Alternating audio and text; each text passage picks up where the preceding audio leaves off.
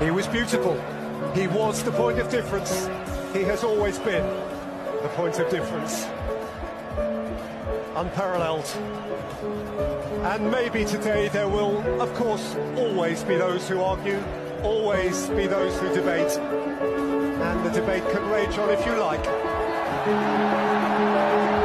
as he falls in love with the object in the world that his heart most desired, to escape the supposition that he has rendered himself today